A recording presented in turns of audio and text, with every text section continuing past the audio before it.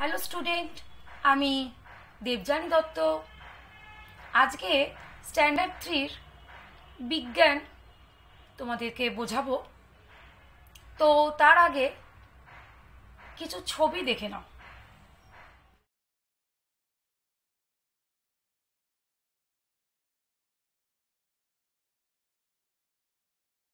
তো তোমরা কিছু ছবি দেখলে, তাই তো? কিসের ছবি দেখলে? রাতের আকাশ আর দিনের আকাশ। তো এমনিতেও তোমরা জানো তো, দিনের আকাশে তোমরা কি দেখতে পাও? সূর্য, একটা পরিষ্কার নীল আকাশ, আর এখানে মেঘ ঘুরে বেড়াচ্ছে, তাই তো ভেসে যাচ্ছে। আর রাতের আকাশে তোমরা কি দেখতে পাও? বিভিন্ন রকমের ছোট ছোট তারা মিট মিট করে জ্বলছে, যারা আসলে হচ্ছে নক্ষত্র। চাঁদ থাকে, মেঘ তো ভেসে যাচ্ছে, সেটাও দেখতে পাও। আর কিছু গ্রহ দেখতে পাওয়া যায়, আমরা হয়তো খালি চোখে সেগুলোকে কিন্তু বুঝতে পারি না। তো সেগুলো আমরা পড়ব। তো এইগুলো আমরা দেখতে পাই। তো আমরা এই আকাশ কোনটাকে বলছি? যে আমাদের মাথার উপর যে একটা পুরো মহাশূন্য বিশাল একটা ফাঁকা, সেটা কল্পনাও করা যাবে না যে কি কতটা বড় ফাঁকা। সেই মহাশূন্যকেই কিন্তু বলা হয় আকাশ। তাহলে এই যে দিনের আকাশ বলো বা রাতের আকাশ বলো, আমরা যে দেখতে পাচ্ছি, সেই নক্ষত্র আর গ্রহদেরকে, তো আমি যদি তাদেরকে একটু তুলনা করি, কি করবে? আমরা দেখতে পেয়েছিলাম ছবিটাতেও, বা নিজেরাও আকাশে দেখি, যে মিট মিট করে নক্ষত্রগুলো কিন্তু জ্বলে আর আকাশে দেখবে কিছু একদম স্থির থাকে, সেগুলো কিন্তু গ্রহ। তবে গ্রহদের কিন্তু নিজস্ব কোনো আলো নেই। সমস্ত আলোটাই কিন্তু ওরা সূর্য থেকেই পায়। সেখানে নক্ষত্রের নক্ষত্রদের কিন্তু নিজস্ব আলো আছে এবং একটা তাপও আছে কিন্তু। আর এই নক্ষত্রগুলো কিন্তু একটা জ্বলন্ত গ্যাসের একটা অগ্নিপিণ্ড। মানে সারাক্ষণ ধরে বেরিয়েছে একটা গ্যাস বেরোচ্ছে, আগুন বেরিয়ে যাচ্ছে। এটা যখন সূর্য আর কি পোড়াবো, তখনই তোমাদের দেখাবো কেমন হয়। আর নক্ষত্রগুলো কিন্তু একদম স্থির থাকে, সেখানে গ্রহগুলো কিন্তু একটা নির্দিষ্ট পথে মানে কক্ষপথ, এখানে কক্ষপথ মানে হচ্ছে যে চলার পথটা। হুম, সেই একটা গ্রহরা একটা নির্দিষ্ট কক্ষপথে সূর্যের চারিদিকে আবর্তন করে। এই গ্রহ নিয়ে যখন আরও পড়ব পরে তখন আমি বলব। তাহলে এই গেল হচ্ছে গ্রহ আর নক্ষত্র। তো এবার তোমরা একটা কিছু ছবি দেখো।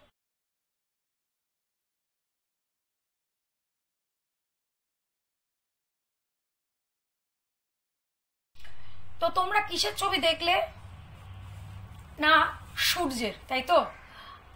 যেটা তোমাদের আমি কিন্তু এই ছবিগুলো সমস্ত গুগল থেকেই আর কি নিয়েছি। গুগলে সার্চ করলেই পেয়ে যাবে। তো এই যে সূর্য তুমি দেখলে, যে ছবিগুলো দেখলাম দেখা গেল, তো ওগুলো কি দেখলে? একদম পুরো আগুন বেরোচ্ছে না? তো গ্যাসের একটা পিণ্ড, অগ্নিপিণ্ড বলতে পারি, সারাক্ষণ জ্বলছে এই সূর্য। আর এই সূর্যর একটা নিজস্ব আলো আছে এবং উত্তাপ আছে মানে প্রচণ্ড উত্তাপ আর আলো, যা সূর্যের কাছে একদম কোনো থাকা যাবে না। মানে কেউ নেই। আমরা তার একটা সামান্য অংশটাই পাই। তাতেই আমাদের কত গরম লাগে সেটা আমরা গরম আহ, গ্রীষ্মকালে টের পাই তাই তো? তো এই সূর্য কিন্তু একটা নক্ষত্র। তো এবার দেখো আমরা এই যে দিনের বেলাতে আমরা কিন্তু সূর্যকে আমরা দেখতে পাই তাই তো? তো তোমাদের মনে একটা প্রশ্ন আসতে পারে, তাহলে অন্যান্য নক্ষত্রদের আমরা এত ছোট দেখি কেন? সেখানে সূর্যকে একটু একটু তুলনামূলক তো বড় দেখি। কেন? তার কারণ হচ্ছে যে, এই যে পৃথিবী থেকে আমাদের সূর্যটা, এটা মানে বিজ্ঞানীরা আর কি পরিমাপ করে দেখেছেন যে প্রায় পনেরো কোটি কিলোমিটার দূরে আছে। তাহলে ভাবো, পনেরো কোটি কিলোমিটার। এতটা দূরে সূর্য আছে। তাই আমরা পৃথিবী থেকে সূর্যকে দেখতে পাই। কিন্তু তুলনামূলকভাবে অন্যান্য নক্ষত্রগুলো আরও কিন্তু দূরে রয়েছে। আরও দূরে। মানে আমাদের পৃথিবী থেকে সূর্য, মনে করো, এই যদি পৃথিবী ধরো, এখানে যদি বলো সূর্যর আছে, এই অন্যান্য নক্ষত্রগুলো হয়তো তারও অনেক দূরে রয়েছে। এবং এই এতটা দূরে এই পৃথিবী আর সূর্য থেকেও অন্যান্য নক্ষত্রগুলো এতটাই পৃথিবী থেকে দূরে যে যার ফলে আমরা ওই নক্ষত্রদের অনেক ছোট দেখি। এইবার তোমাদের একটা প্রশ্ন আসতে পারে, তো সূর্যের তো তোমরা ছবিও দেখলে একটা মানে আগুন সারাক্ষণ ধরেই বেরোচ্ছে। তাহলে ওই অত তাপ কি আমাদের কাছে পৌঁছয়? উত্তর কিন্তু কি দেব? একদমই নয়। অত যদি তাপ আর আলো আমাদের পৃথিবীতে আসতো, তাহলে জ্বলে পুড়ে শেষ হয়ে যেত। অতি সামান্য মানে ওই আলো আর সূর্যের যে আলো আর নিজস্ব যে তাপটা রয়েছে, তার অতি অতি থেকে অতি বলতে পারি, খুব সামান্যই অংশ আমাদের কাই পৃথিবীতে পৌঁছয়। এবং যেটা আমরা অনুভব করতে পারি, তার তীব্রতা কতটুকুনি গরমকালে? তাই তো? গ্রীষ্মকালে খুব ভালোই বুঝতে পারি। তাহলে যদি পুরোটা আসতো, তাহলে ভাবতে পারছ কি হবে? জ্বলে যেত। তো অতটা আসে না। আমরা খুব সামান্য অংশটুকুনি আর কি এই আলো ও আমরা আমরা পৃথিবীর মানে গ্রহণ করে ঠিক আছে? তো সেখানে যেহেতু অন্যান্য নক্ষত্র আরও দূরে আছে, তো তার আলো ওই পৃথিবীতে আসতে অনেকটা সময় লাগে, যেটা তোমরা পড়ে আর বড় বলে জানতে পারবে। তো ওই জন্য আমাদের ওই যে মিট মিট করে জ্বলে। কেন মিট মিট করে জ্বলে? এটা পরেও তোমরা সেটা সম্পর্কে জানতে পারবে। তো এই তাহলে এইটুকুনি তো বোঝা গেল। তাহলে এই সূর্য থেকে আগত আলো এবং তাপের পরিমাণ অতি সামান্য, যা আমরা পৃথিবীর বাসিন্দা আমরা পাই। তাই তো? এবার তোমরা তো ভাবতেই পারছ যে এই যে আমি যে ছবিগুলো দেখাচ্ছি, এগুলো সব কিন্তু আসলই ছবিগুলো। তো এই ছবিগুলো তোলা হলোই বা কি করে? বা বিজ্ঞানীরা দেখলোই বা কি করে? বা আমরা যদি দেখতে চাই রাতের আকাশে কে কে আছে, তো কীভাবে দেখব? আর এই সমস্ত যাবতীয় এই মহাকাশ নিয়ে, মহাকাশে কারা কারা আছে? এই মহাকাশ মানে হচ্ছে মহাশূন্য পুরোটা। তো এদের নিয়ে কারাই বা গবেষণা করে। তো দেখো, এই যে মহাকাশ নিয়ে, অর্থাৎ গ্রহ, নক্ষত্র ধূমকেতু, আকাশে তো এই মানে অনেক কিছু থাকে কিন্তু মহাকাশে। আরও বড় হলে জানবে। গ্রহ, নক্ষত্র, গ্রহাণুপুঞ্জ, ধূমকেতু, নিহারিকা, হুম, যাবতীয়। তো সমস্ত এদেরকে বলা হয় কিন্তু তারপরে উপগ্রহ, এদের সমস্ত একত্রে বলা হয় জ্যোতিষ্ক। এই জ্যোতিষ্ক নিয়ে যারা গবেষণা করে মানে চর্চা করে, সমস্ত কিছু, তারা কীভাবে তৈরি হলো তারা কোথায় যাচ্ছে, কীভাবে তারা তারা কোন কোন জায়গায় অবস্থান করে, কীভাবে যাবতীয় সমস্ত জিনিস নিয়ে যারা গবেষণা করেন, তাদেরকে বলা হয় জ্যোতির্বিজ্ঞানী। এই জ্যোতির্বিজ্ঞানীরাই কিন্তু নানা রকমভাবে এই গবেষণা করে আমাদের কাছে নানা রকমের তথ্য দিয়েছে। সেই তথ্যগুলোই কিন্তু আমরা তোমাদেরকে দিচ্ছি। এইবার তারা তথ্যগুলো কীভাবে সংগ্রহ করছে?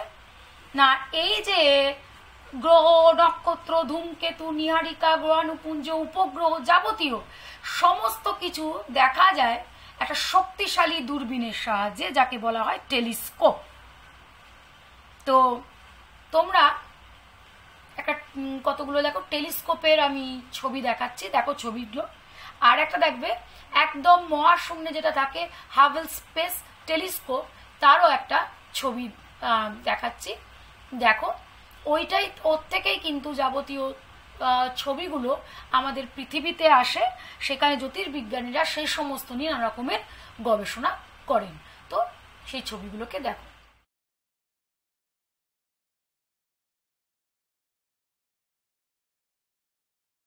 তো টেলিস্কোপের ছবিগুলো দেখলে তো?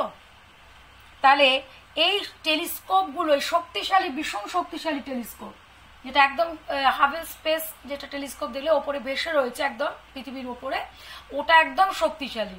ও এক বহু কোটি কোটি দূরে থাকা সমস্ত নক্ষত্রদের কিন্তু, নক্ষত্র কেন যাবতীয় জ্যোতিষ্কদের কিন্তু দেখতে পাবে।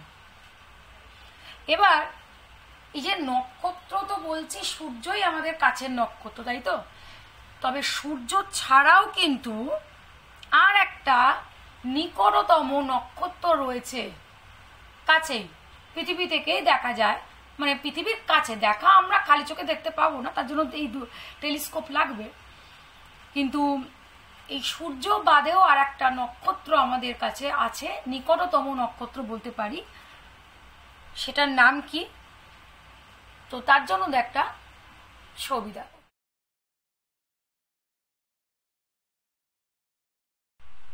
তোমরা ছবিটা দেখলে তো?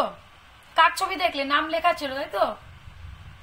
প্রক্সিমা সেন্টুরাই এটা হচ্ছে সূর্য ছাড়া আমাদের পৃথিবীর আরেকটা নিকটতম নক্ষত্র। তাহলে মোটামুটি একটু আমরা নক্ষত্র বা মহাকাশে একটু কিছুটা জানলাম, তাই তো? এই যে আমি টেলিস্কোপ বলছি এই টেলিস্কোপ নিয়ে যদি রাতের আকাশে ভালো করে দেখা যায়, এই নক্ষত্রগুলো কিন্তু কেউ একা একা নেই। একা থাকে না। একটা একটা জায়গাতে একটা জোট করে যেন থাকে। মনে হয় না তারা যেন একটা গল্প করতে বসেছে। জোট বেঁধে যেমন আমরা বন্ধুরা কি গল্প করতে বসি তো? সবার সঙ্গে কি একসাথে নিশ্চয়ই বসি না? পাঁচজন এক জায়গায় বসলাম, আবার অন্য অন্য ছজন আর এক জায়গাতে বসল। তো এইরকমভাবে এক একটা নক্ষত্র মণ্ডল জোট বেঁধে মনে যেন গল্প করছে। এই জোট বাঁধা নক্ষত্রদের বলা হয় কি? নক্ষত্র মণ্ডল। তো এই রকমই কিছু নক্ষত্র মণ্ডল নিয়ে আমরা আজকে পড়ব। তার মধ্যে একটা হচ্ছে কালপুরুষ। তো এই কালপুরুষ কি তা বলার জন্য, তা বোঝার আগে তোমরা একটা ছবি দেখে নাও।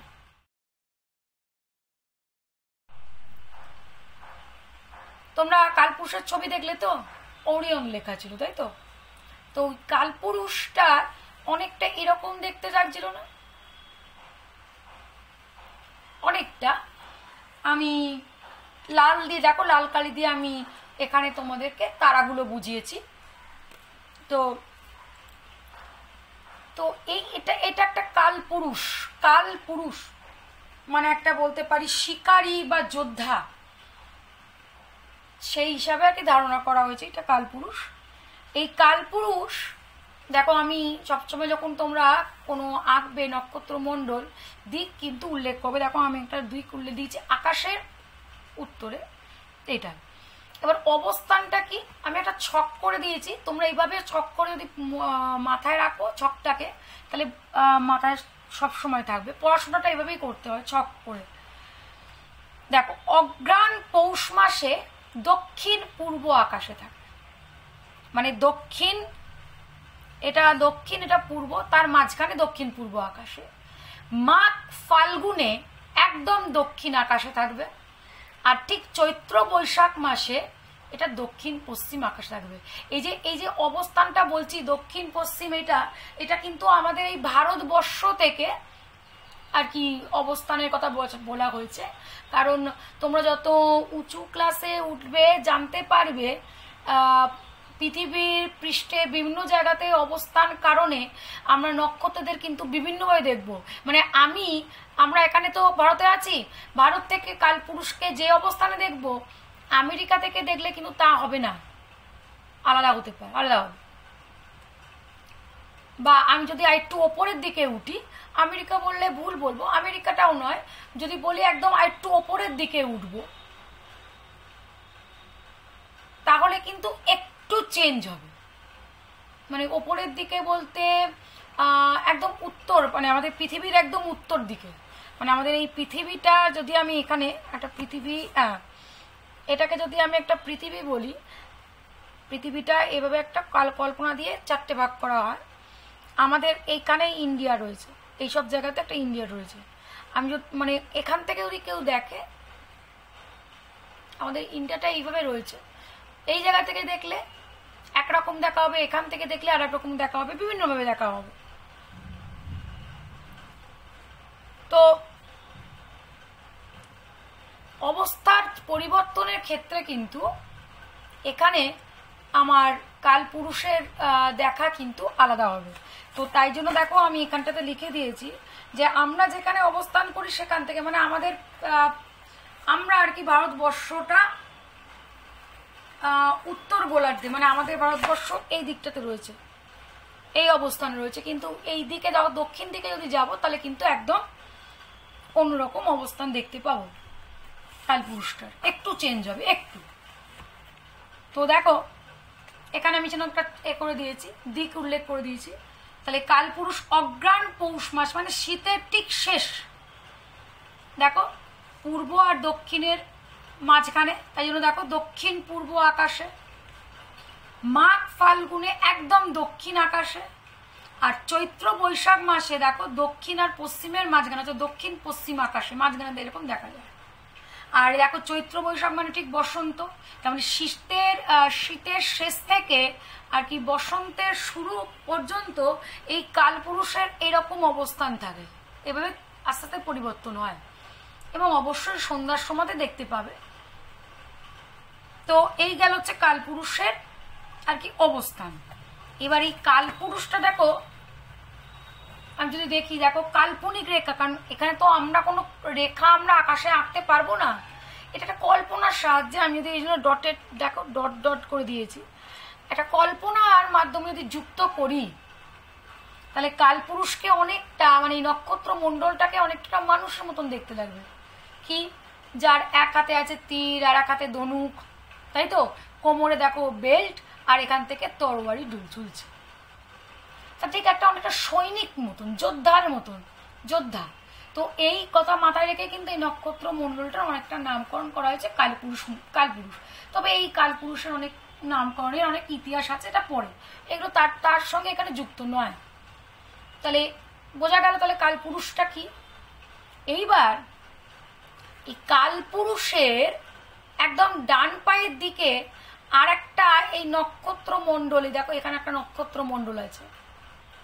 এইটা। এই নক্ষত্র মণ্ডলটার নাম হচ্ছে বৃহৎ কুকুর মণ্ডল। এই বৃহৎ কুকুর মণ্ডলটা কিন্তু কবে দেখা যায়? না, দেখা যায় হচ্ছে পৌষ মাসে। দেখতে পাওয়া যায় আর কোন সময় না সন্ধ্যার সময় ডান, এই কালপুরুষের এইটা একটা ডান দিক তো, ডান পায়ের দিকে। তাহলে বৃহৎ কুকুরমণ্ডলটা কি? না পৌষ মাসের সন্ধ্যা আকাশে কালপুরুষের ঠিক ডান পায়ে যে নক্ষত্র মণ্ডল দেখতে পাওয়া যায়,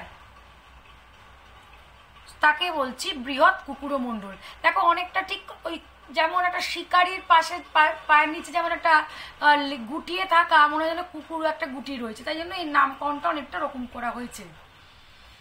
এই নক্ষত্র মণ্ডলের একটা সবচেয়ে বড়, একটা উজ্জ্বল নীল, নীলাভ আর কি, নীলের মধ্যে একটা নীলাভ একটা নক্ষত্র আছে, যার নাম হচ্ছে লুব্ধক এই লুব্ধক হচ্ছে আকাশের সবচেয়ে উজ্জ্বল নক্ষত্র। তাহলে দেখো আমি এখানটাতে অবস্থানটা এবার ছক লিখে দিয়েছি। যে পৌষ মাসে কালপুরুষের ডান পায়ের কাছে এই বৃহৎ কুকুরমণ্ডল দেখা যায়।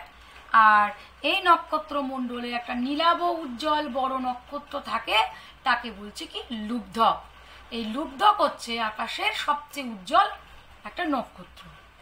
তো দেখো, একটা আমি ছবি দেখাচ্ছি, যেখানে বৃহৎ কুকুর কুকুরমণ্ডল আর কালপুরুষ একসাথে আছে, দেখে নাও। তো দেখলে ছবিটা? তো তো কালপুরুষ এবং বৃহৎ কুকুর কুকুরমণ্ডল, তোমরা আশা করি বুঝতে পারলে। তো এই গেল একটা নক্ষত্র মণ্ডল। বাকি নক্ষত্র মণ্ডলগুলো আমি পরবর্তী ক্লাসে তোমাদেরকে বোঝাবো।